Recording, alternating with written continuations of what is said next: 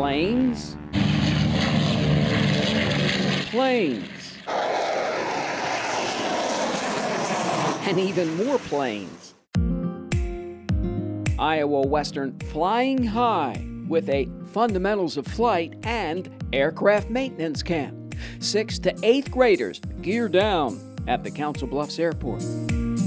Kids uh, seem to have uh, an interest in aviation overall and uh, trying to inspire some of that and uh, becoming pilots and mechanics is what we're here to do. Not enough lift. On the aerodynamics side, we're talking about different types of power plants, uh, propeller-driven aircraft versus jet aircraft, and those questions are uh, uh, easily answered but surprising coming from them. Ready?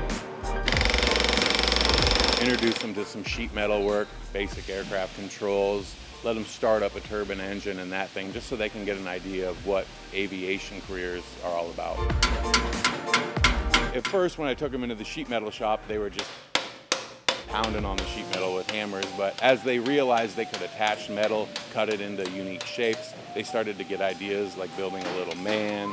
Well, at first I had doubts about it because like I don't really like that really high altitudes that much, but it, it actually seems really fun. Right and left rudder, just keep it on the main line of the runway. For 6th to 8th grade on the flight simulator, there's a little bit of uh, initial uh, setup that we have to do, but once we get them in the air and uh, simulator all good to go, uh, it's just learning the basic movements of the aircraft and they do fine on their own. I've had experience with other flight simulators before, so it was quite easy. What I have learned is that a few extra things about aerodynamics, why the plane's wings are tilted and why they are. Is there more to flying than you thought? Yes, a lot of buttons and switches and just trying to keep it straight. Do you see yourself down the road flying in the friendly skies? I, yeah, I can picture it. Like I'm, I'm thinking like a smaller plane, like not like one of those giant ones.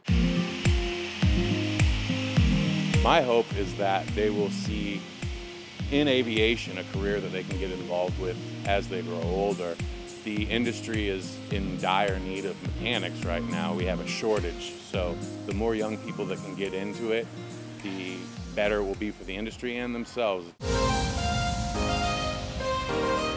Future aviation industry mechanics? Pilots, perhaps? Their futures? Still up in the air. These Reiver campers airing it out at the Council Bluffs Airport, flying high in the realities of flight. A flight made possible, roger that, Iowa Western.